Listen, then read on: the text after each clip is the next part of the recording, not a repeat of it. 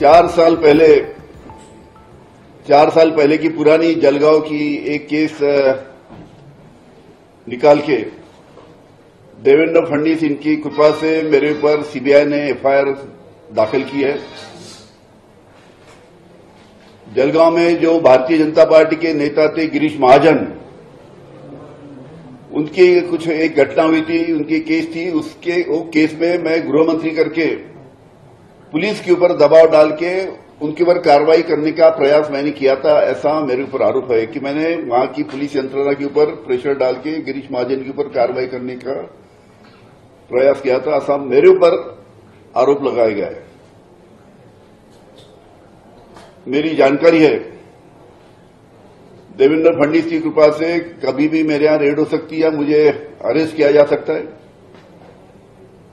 सब महाराष्ट्र की जनता जानती है कि देवेंद्र फडणवीस ने ऊपर वालों के कृपा से ईडी, सीबीआई का गैर इस्तेमाल करके किस प्रकार से महाराष्ट्र की राजनीति नीचे लाई है, ऊँची की है, ये पूरी महाराष्ट्र की जनता जानती है। यहाँ पे जो भी मेरे को मेरे पर रेड डालने का प्रयास हो रहा है, ऐसी मेरी जानकारी है, या मुझे अरेस्ट करने जाए जाएँगे, ये मेरी जानकारी है। इसके लिए या मेरे यहाँ रेड डालना हो या मुझे अरेस्ट करना हो, अनिल देशमुख उसके लिए तैयार है।